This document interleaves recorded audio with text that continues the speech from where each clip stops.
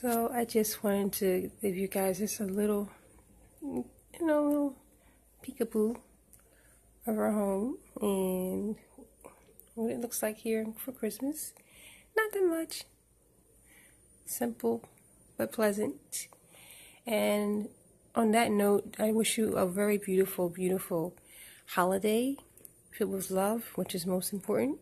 If you have love, you have everything. If you have friends and family that care about you, you have everything. And just reminding us to just share what we have because that's the blessing in giving.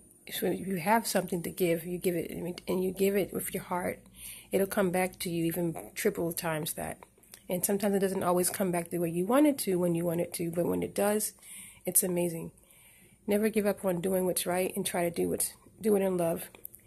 And um, on that note, I just want to wish you and your family a beautiful Merry Christmas.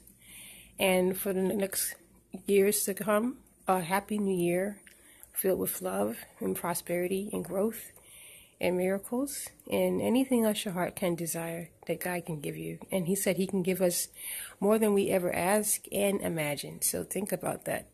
So be limitless in your thinking about who God is and in your and in your asking.